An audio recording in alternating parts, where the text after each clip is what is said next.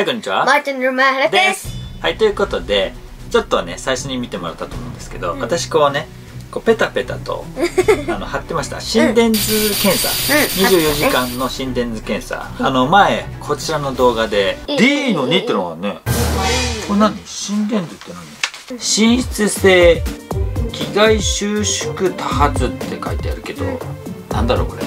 総称が出ております心電図検査の結果再検査または精密検査が必要です。だって。あのねちょっと健康診断の評価が悪かったんでね、うんなんか。ちょっと心臓に異常があるということで24時間の心電図検査をやりました、うん。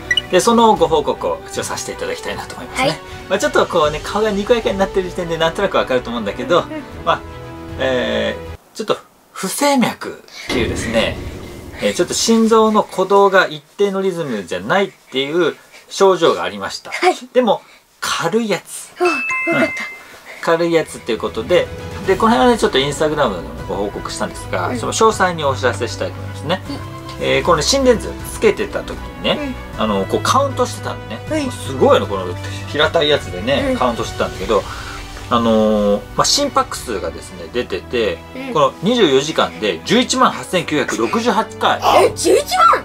すごいよね人間って。すごいすごいすこれこれすごくびっくりした、うん。11万回もドクドクしてんだよ。ごい1万ねえ。でそのうち113回不整脈、110あまあ、それは要はこう一定のリズムじゃなくてちょっと速くなったりとか。ドンドンじゃなくてドドンドンドンとかそういうやつ、ーうん。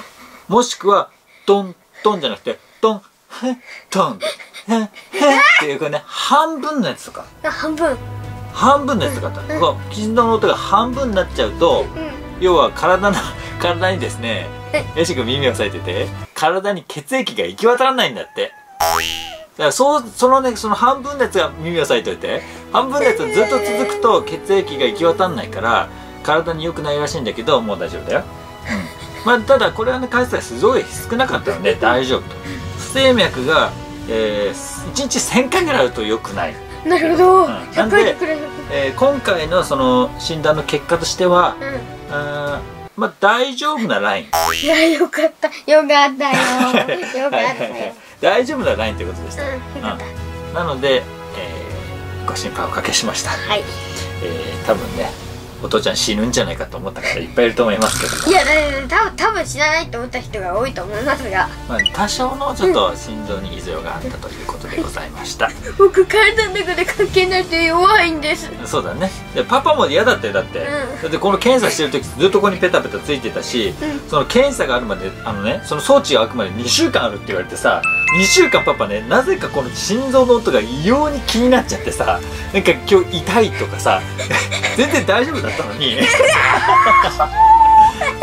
ということで大丈夫でございました。皆さんご心配おかけしました。はいこれからも頑張ってやっていきますので応援よろしくお願いします。はい、ということで今日の動画が面白かったなとか気に入ったなと思った方はぜひいいねボタン高評価グッドライクお願いします、そしてぜひお友達にも教えてあげてください、はい。それで今回のおすすめ動画いつものところに出てますのでぜひチェックしてみてください。チャンネル登録は真ん中あたりからよろしくね。ということで今回は以上でございます。バイバイ